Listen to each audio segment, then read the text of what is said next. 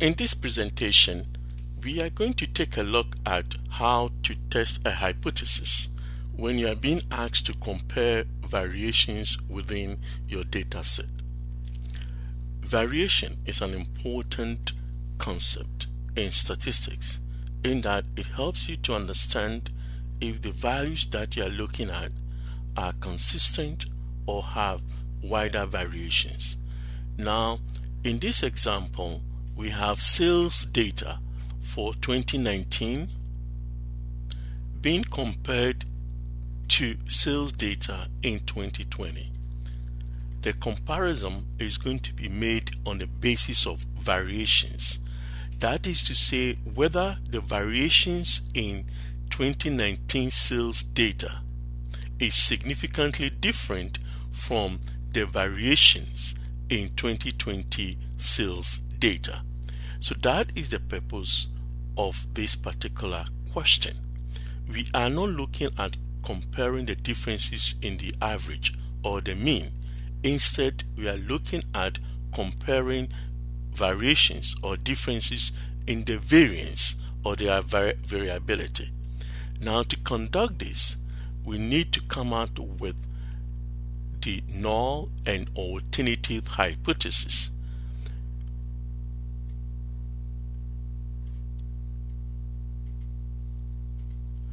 The null hypothesis is will be stated as follows.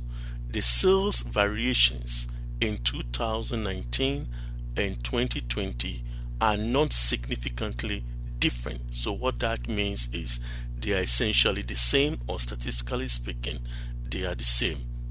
The alternative hypothesis will go the other way which will mean that the sales variation in 2019 and 2020 are significantly different. That means they are not the same and they are not equal. So there's significant variation between the two sales data for the two years. Now, having stated the null hypothesis, now we're going to move on to question B, where we have to justify which method that we should use to test for differences and variations or variances.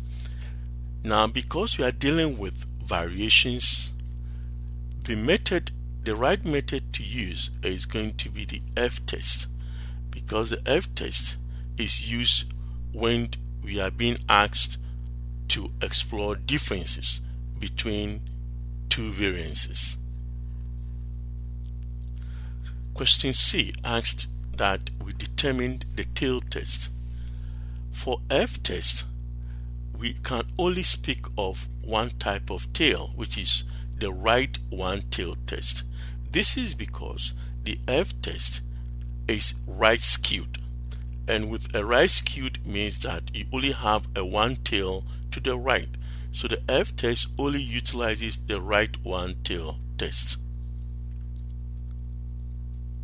Question D and E requires that we've established the critical value and find the test value.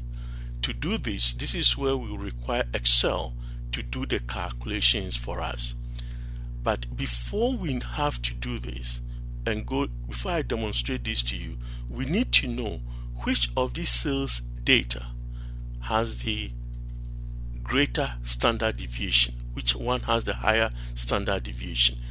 The reason that we need to know about this is this.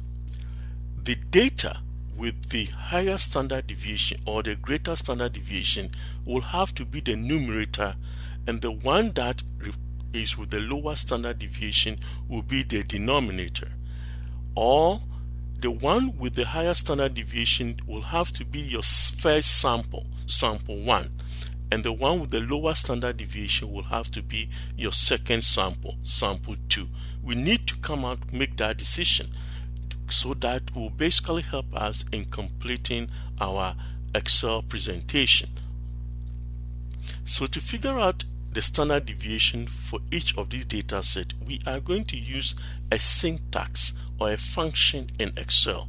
And that syntax is to do that, we, you, you type in the equal sign inside the cell below the 2019 sales data and the function is stdev that represent standard deviation stdev then you begin with the bracket and and select the data the values only the values and then closed the bracket.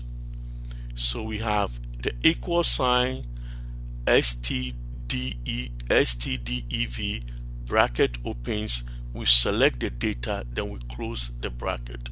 And then we, end, we click on the enter key. And when you enter you can see that a standard deviation is given.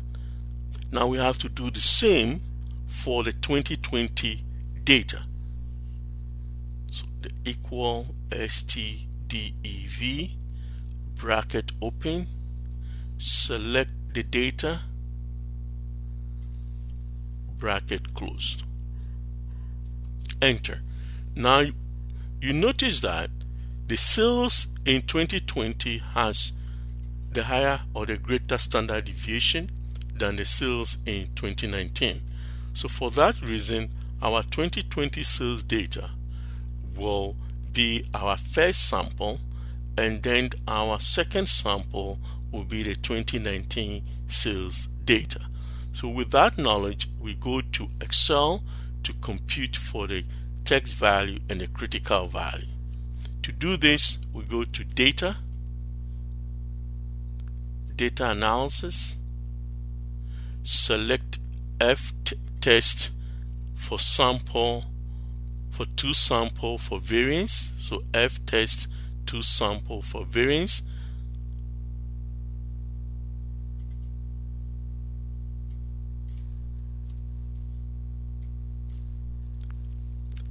and then for variable 1 this is your sample 1 you select the data that fit into variable 1 and that data is going to be the one with the greater standard deviation. So as the cursor blinks in the box you go ahead and select the 2020 sales data which represent the one with the greater standard deviation value. And then for variable 2 which represent your second sample we select the 2019 data set and that should get you your data for the second sample and then we check on the labels make sure the labels is checked because we included the labels on top here in our selection and then the alpha is going to be 5% because the question asks for at 5% significance level, which is our alpha. And then we then decide on the output range where we want to place the output.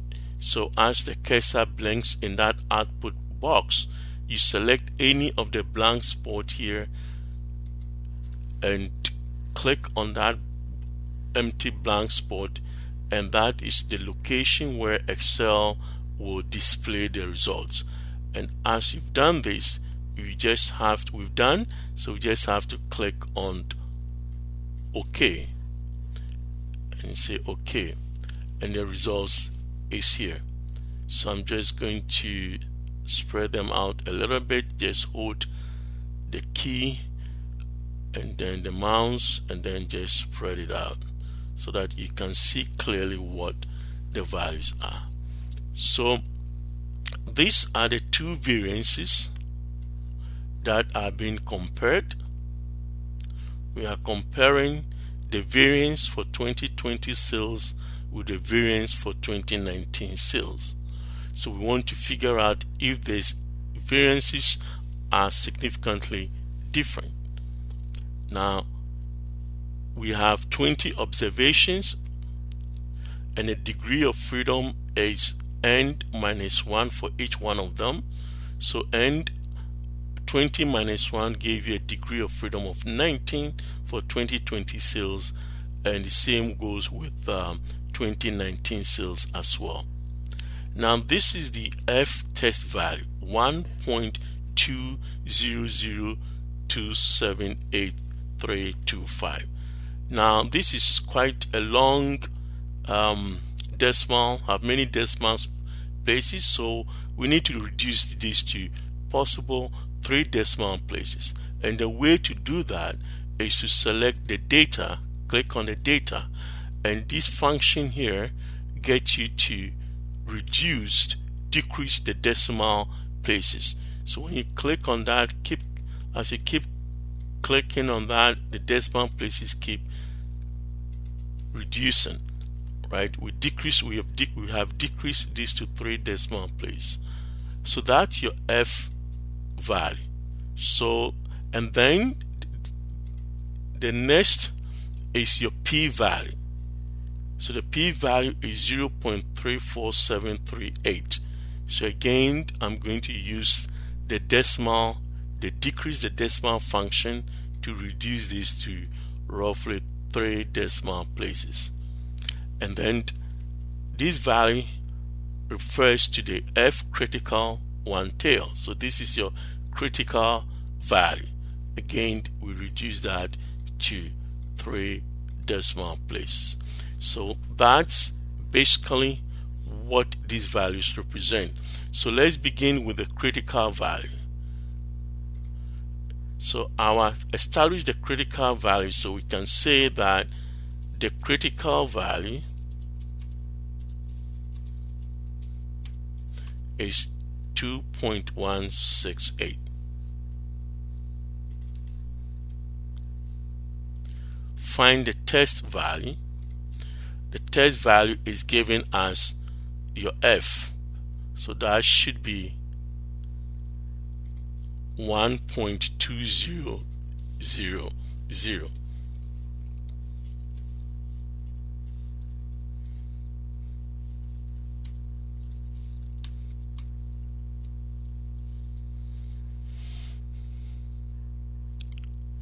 And then we have to make the decision. Since the critical value and it, by comparing the critical value and the test value, we can come to the conclusion as to whether to reject the null or to accept it. Now, as you can see, the test value is less than the critical value. In that case, we have to accept the null hypothesis. We have we should not reject the null, but rather we have to accept it. So in that case, our conclusion will be that the null hypothesis should be accepted. So since the F test value of 1.200 is less than the critical F value of 2.168, the null hypothesis cannot be rejected. Hence, we can validate the null hypothesis to be true. So we conclude that the sales variations in 2019 and 2020 are not statistically significant. So the differences are not statistically significant. The null in this case is a valid statement. So in that case, the sales variation in 2019 and 2020 are not significantly different. They are essentially the same.